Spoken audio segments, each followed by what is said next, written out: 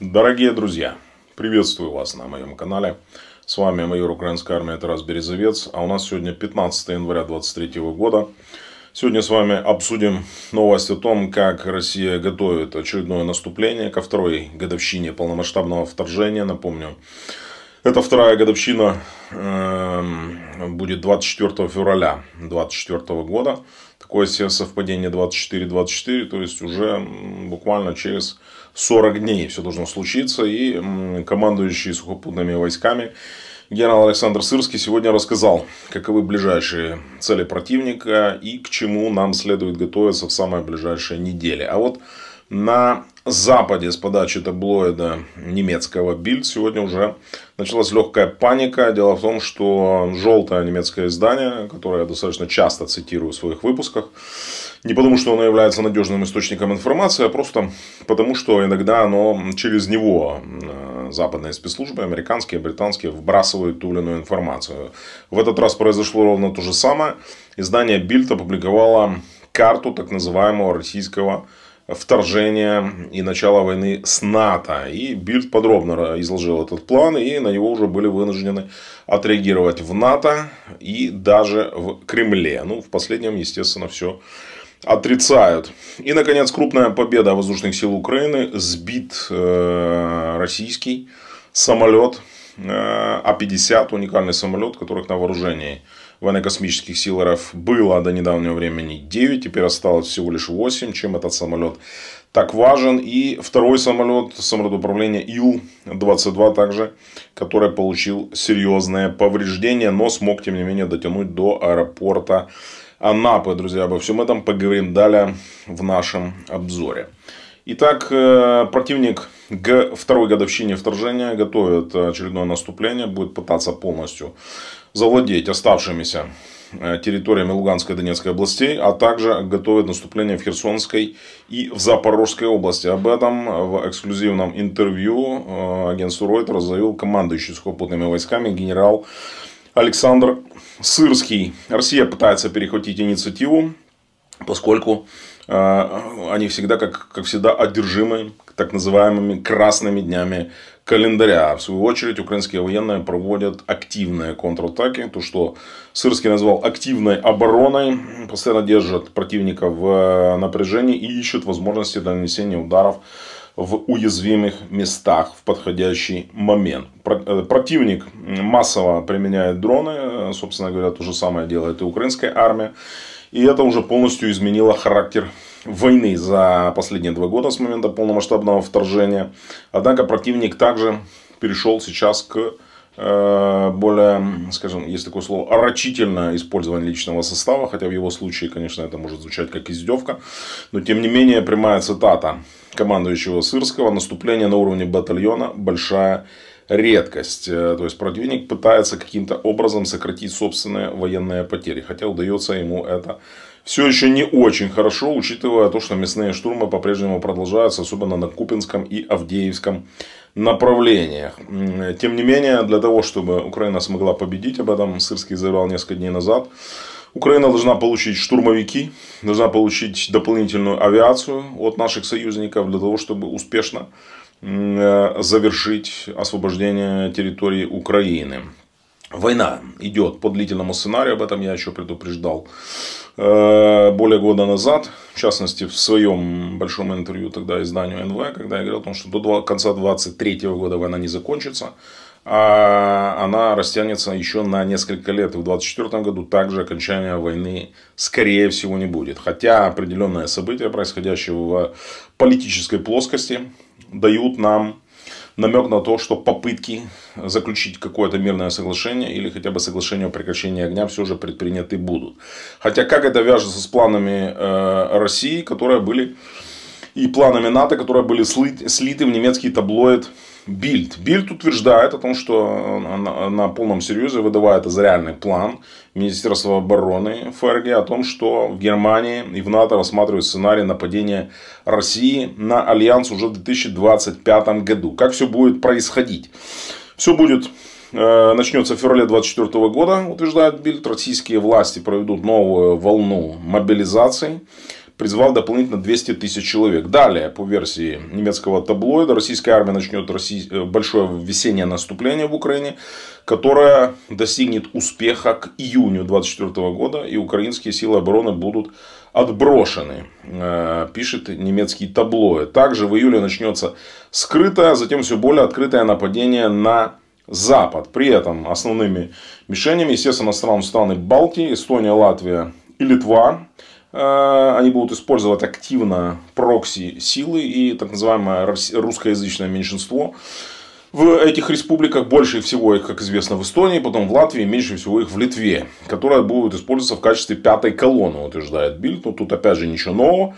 Ну и кроме того, Россия начнет масштабные учения с Беларусью, опять же, как это было перед вторжением в Украину, под названием Запад 2024, в которых примут участие свыше 50 тысяч военнослужащих. Кстати, сегодня Министерство обороны Республики Беларусь по странному э, стечению обстоятельств разместило видео, на котором видно военнослужащие э, вооруженных сил Республики Беларусь садятся в э, транспортный самолет Ил, отправляются в Россию, как в подписи к видео говорится, где они будут проходить обучение с российскими инструкторами, имеющими опыт ведения боевых действий в Украине. А после возвращения в Беларусь уже эти, в свою очередь, белорусские военные будут обучать других ведению, естественно, боевых действий в условиях реальной войны. Э, само учение запланировано на сентябрь 2024 года, утверждает Бильд. Кроме того, в октябре следующего 2024 года по этому сценарию Россия перебросит дополнительные войска ракеты средней дальности в Калининградскую область, которая граничит, напомню, это такой российский оторванный кусок ее территории, который граничит с соседними странами э, НАТО, э, странами Балтии и Польши.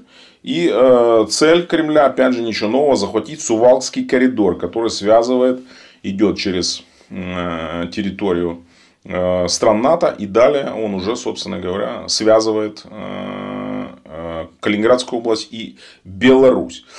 В декабре прогнозирует Бильд 2024 года, то есть через 11 месяцев в районе Сувалского коридора начнется искусственно созданный пограничный конфликт, а далее беспорядки с многочисленными жертвами. И в марте 2025 года по этому сценарию Россия перебрасывает дополнительные войска к границам стран Балтии. Там будут размещены две танковые дивизии, одна мотострелковая дивизия, около 70 тысяч военнослужащих. А при этом Ничего э, экстраординарного в этих планах, как, несмотря на их ужасность, нет. Это был слит просто рабочий сценарий стратегической игры, которая разыгрываются всегда во всех вооруженных силах, во время всех военных учений, штабные военные учения, сценарий штабной игры э, Министерства обороны Германии с привлечением э, военных стран НАТО.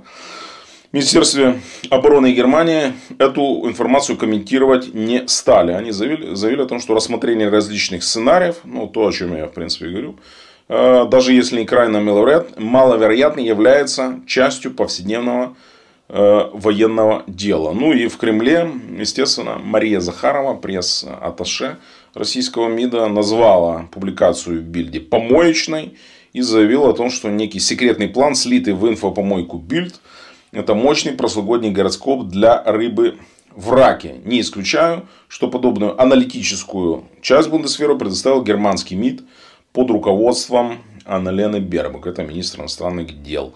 Ну а Песков вообще отказался комментировать эту всю историю. Сказал, что в последнее время это издание вбрасывает достаточно много уток. В самом НАТО заявили, в частности, директор Центра передового опыта НАТО в области стратегической коммуникации Янис Сарц заявил о том, что распространенная информация не является секретной, не является секретной, и она не является никаким серьезным разведывательным анализом. Он заявил, что эти сценарии, как всегда, вымышленные, с несуществующими странами и несуществующими географическими регионами. Таким образом, еще раз повторю, основная версия, которую я придерживаюсь в этой истории, это просто сценарий очередной штабной игры, который Бильд, очевидно понимая, у них не глупые военные аналитики, тот же Репке Юлиус э, выдали в данном случае за планы российского военного командования, которые якобы были перехвачены западными разведками. Хотя при всей дикости этого плана исключать то, что в каких-то отдельных элементах, в пазлах этот план может иметь под собой реальную составляющую, опять же на уровне планов задумок,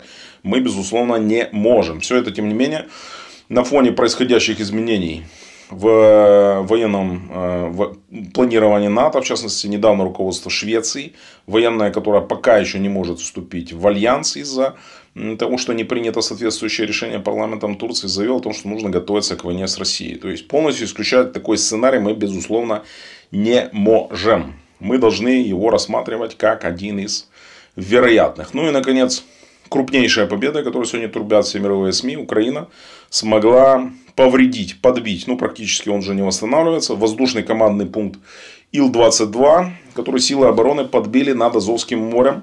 И он смог дотянуть до аэропорта Анапы. Это э, уже там дальше, э, на территории Российской Федерации. А второй самолет А-50, это самолет дальнего радиолокационного обнаружения, который использовался в первую очередь, который сбить практически невозможно, который использовался для обнаружения украинской ПВО и проводил доразведку перед э, планированием очередной ракетной атаки, и который, по сути, является незаменимым. Россия сейчас этих самолетов не производит. Их было всего лишь произведено 12, 3 из них находятся на вооружении ВВС Индии, а 9 находились, ну теперь уже 8, на вооружении э, военно-космических сил РФ.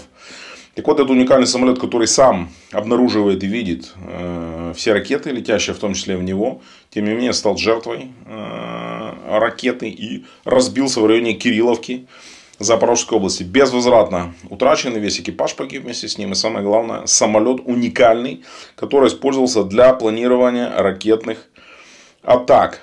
Самолет, не имеющий аналогов, здесь говорю как бы без иронии, аналогов нет. И его уничтожение нанесло значительный удар по военно-воздушным силам РФ. Эту новость сегодня сообщил одним из первых, официально подтвердил главком вооруженных сил Украины генерал Валерий Залужный. Он сообщил о том, что уничтожены были Ил-22 и А-50. Ну, еще раз повторю, Ил-22, возможно, это пока информация не подтверждена, было опубликовано фото, которое я, кстати, разместил в своем телеграм-канале. Повреждено хвостовой части, он э, практически поврежден безвозвратно то, что он смог сесть, не значит, что он сможет дальше эксплуатироваться. Вероятнее всего нет, судя опять же по комментариям экспертов, которым мы можем доверять. Вот. А эта потеря является для противника очень болезненной и очень, еще раз повторю, проблемной. Она является по сути безвозвратной. Как были сбиты эти самолеты, сейчас много версий о том, что это могли быть и комплексы Patriot, такая версия выброшена. Или это могли быть истребители, опять же, какие истребители. То есть появляются различные версии о том, что это могли быть не обязательно э, истребители советского поколения, это могли быть якобы западные образцы. Ну, такая информация сейчас брошена, поскольку как иначе объяснить, что такой самолет, который предназначен как раз таки для обнаружения всех воздушных целей, он способен вести Э, сотни из них в данном случае все прошляпил и сам, сам стал жертвой воздушной атаки. Одним словом, защищать такой корабль воздушные должны были. И они защищали. Там был э, российский штурмовик Су, который ушел от атаки. Он ничего сделать не смог, перехватить не смог. А этот корабль безвозвратно утрачен. И его сейчас сравнивают потери этого самолета А-20. Это такой, знаете, воздушный крейсер Москва. То есть, если можно провести такие аналогии. То есть, крейсер Москва только летающий, только в воздухе. Одним словом, потеря от этого самолета, э, она не только имиджевая, но она очень серьезно ощутима в военном плане. Долгое время пытались российские паблики все это отрицать, но в конечном итоге сегодня Песков заявил, отправил, как известно, опять журналистов опять к Министерству обороны РФ, но правду скрыть в конечном итоге сколько ни пытается, не удается. Одним словом, день крупной победы, очередной, впечатляющий, из которой поздравил главком Валерий Залужный, э, воздушные силы Украины. И мы присоединяемся, друзья, также к этим поздравлениям. Более подробный анализ всего происходившего накануне, в частности, визит в Киев э, премьер-министра Великобритании Риши Сунака, подписанный документ, э, который пресса назвала гарантиями безопасности. Ну, в действительности таковым он не является, по сути. И Риши Сунак сегодня уже отказался от этих формулировок, выступая в парламенте Великобритании. А также итоги состоявшейся конференции по обсуждению мирного плана Украины. Они прошли, как я анонсировал в своем э, минувшем видео, в швейцарском Давосе. Обо всем этом я поговорю уже в э, очевидно, следующем видео. Поэтому, друзья, не пропускайте. Обязательно ставьте колокольчик, подписывайтесь на канал, лайкайте, шерьте, комментируйте эту трансляцию. Для того, чтобы лучше видели алгоритмы YouTube. Подписывайтесь на мой телеграм-канал, ставьте лайки. Также подписывайтесь на два других YouTube канала. Разбор полетов и Березовец Шортс. Поддерживайте наш YouTube проект на Патреоне. Вы можете это сделать. Или другим удобным для вас способом. Все подробности в описании к этому видео. Друзья, с вами был майор украинской армии Тарас Березовец. Слава Украине, слава ЗСУ, слава главкому Валерию Залужному.